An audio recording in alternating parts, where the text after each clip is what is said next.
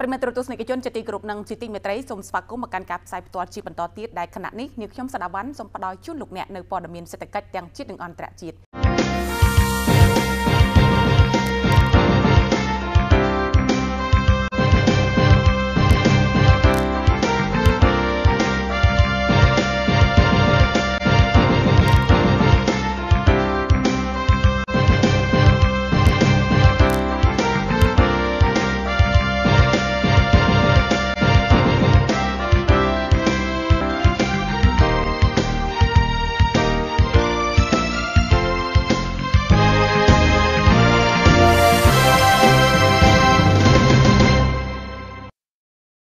AIA បង្ហាញវីដេអូជាស៊េរីដោយជ្រើសរើសលោក David Beckham ជាតំណាងសកលរបស់ខ្លួន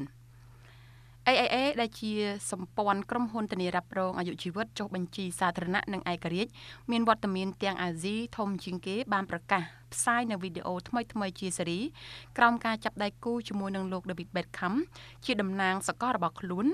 និង Tottenham Hotspur ដែលជាក្លឹបបាល់ទាត់ដៃគូ កិច្ចផ្ដួចផ្ដើមនេះគឺឈរលើមូលដ្ឋាននៃការបដិញ្ញាចិត្តដែលមានគោលបំណងជួយឲ្យប្រជាជនទទួលបាននូវសុខភាពនិងជីវិតកាន់តែប្រសើរលោក David Beckham បានទៅធ្វើទស្សនកិច្ចនៅទីតាំងវឹកហាត់និងកីឡដ្ឋានរបស់ស្ពួរដែលនៅទីនោះគាត់បានជួបទៅនឹងគ្រូបង្វឹកបង្គោលលោក Jose Mourinho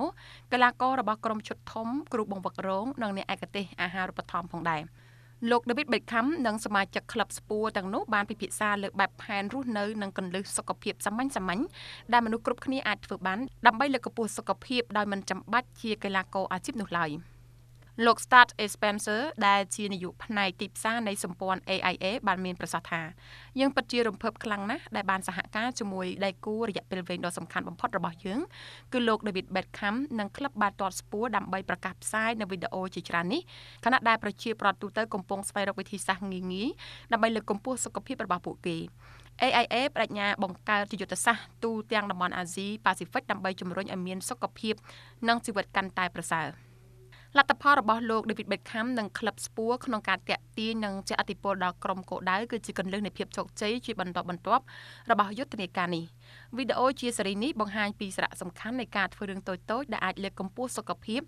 និងសុខុមាលភាពមិនថាការទទួលទានដំណេកបានគ្រប់គ្រាន់ការចំណាយពេលជាមួយក្រុមគ្រួសារនិងមិត្តភ័ក្តិការទទួលទានបានត្រឹមត្រូវឬការហាត់ប្រាណបានសមរម្យនោះឡើយ។